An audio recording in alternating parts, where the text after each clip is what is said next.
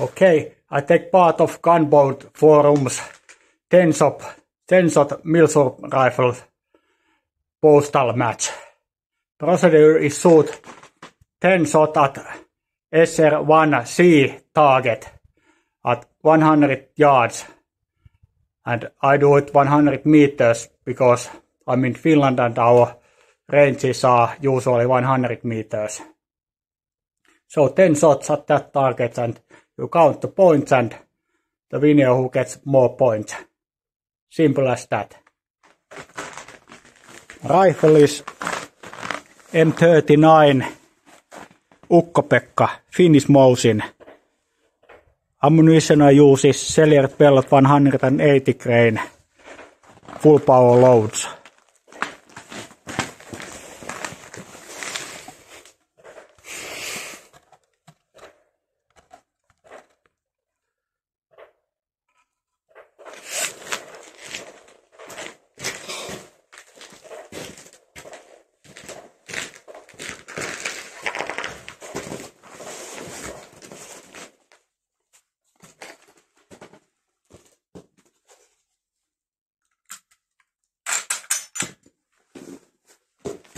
And there was Mosin pin.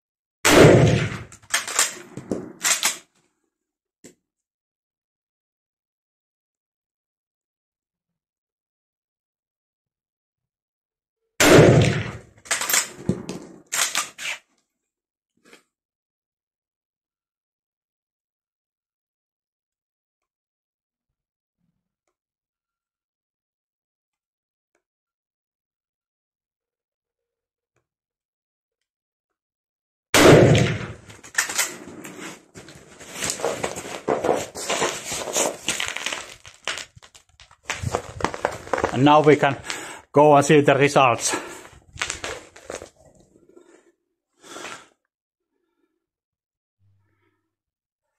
Okay, and now we are in the bunker where's our target. Let's see how I can do this with just one hand.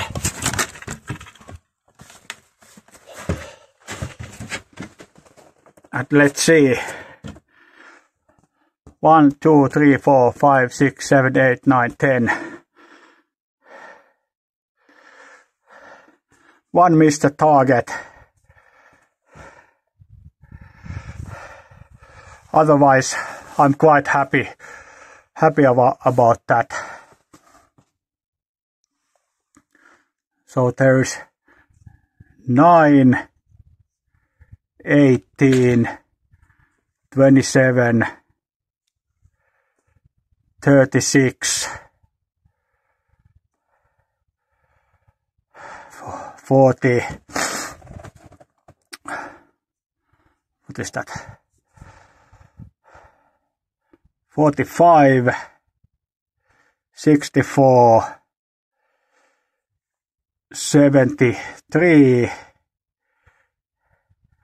83, is it 93? No, I calculate that later in Finnish. So that is my result. Shooting with the M39 Ukko-Pekka.